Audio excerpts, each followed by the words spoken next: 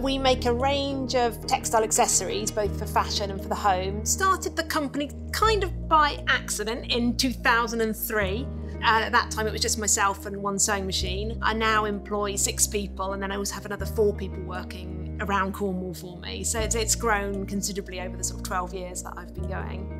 Angendel is an integrated agency. We do digital and branding. We um, specialise in um, destination branding, really. It started off in a shed and it was just me um, freelancing. The company is now, uh, there's nine of us and an awful lot of uh, um, freelancers and consultants. We provide uh, animation, visual effects and CGI um, for a range of different things, including film, TV, uh, online and games.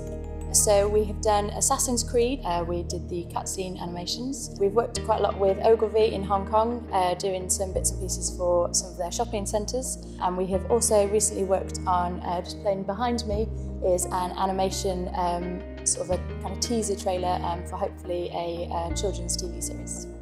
All sorts of things where sort of technology and science cross over into weird art things, that bit in between.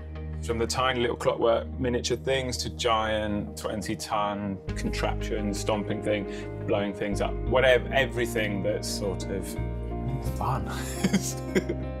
Recently, for Heston Blumenthal, Science Museum, uh, US firms, Absolut Vodka, by chance, really, was the secondary. The fact that the automata world, which is sort of what my stuff is, is there's a huge network, the global centre of automata and mechanical sculpture happens to be in Falmouth. So that was the main reason, or secondary to it just being a lovely place to live.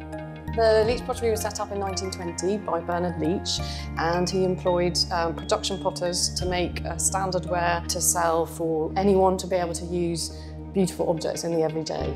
So we continue that tradition and we have a studio pottery and uh, we also have a museum and an education department. So at Joint Effort Studios we produce videos and films. Um, we work mainly with sort of corporate and commercial clients so we deliver sort of content for those guys.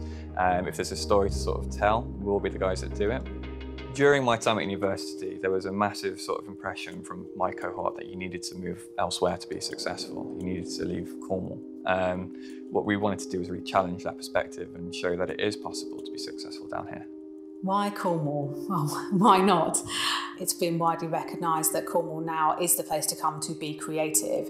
So we're seeing an awful lot of talent coming out of the university down here, which we're harnessing. Why Cornwall? Well, if you'd like to be surrounded by creative, like-minded people in the sea, I don't think you'll find anywhere better. Work-wise, the benefit is that it inspires all my designs. Creatively, I find it really beneficial to be cut off from outside influences. So that's important to me that I'm not being influenced by everything I see around. It's very easy in Cornwall to have a much more, I think, individual take on things. We are a company that makes great art. We make truly internationally great theatre. But I think also we're a company that speaks to everyone and speaks without pretension to a hugely wide range of people.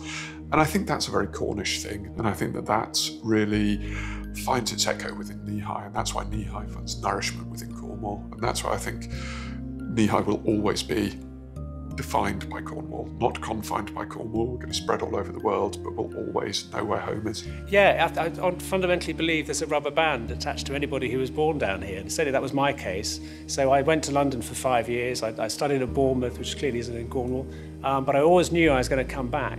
Over the last 10 years, it's been really nice to see the change in Cornwall from a situation where lots of your friends will have to move away and go and get jobs in other places to now in terms of the people that are around and the jobs and the opportunities. I've got a piece of fibre optic that comes in there under my, four pieces of fibre optic actually, straight to my desk.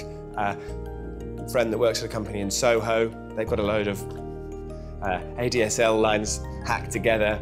I've got better connectivity here. It can be difficult to be um, as remote as we are in Cornwall, but it also brings really um, interesting uh, positives such as a really rich creative community and we're delighted to work with really talented local arts people and crafts people. Um, we couldn't base our business anywhere else. Um, Cornwall to me is all about potential um, and so that's always been there hands down. I love of being able to be in Cornwall but work anywhere in the world from here? Um, I'm Cornish. it was either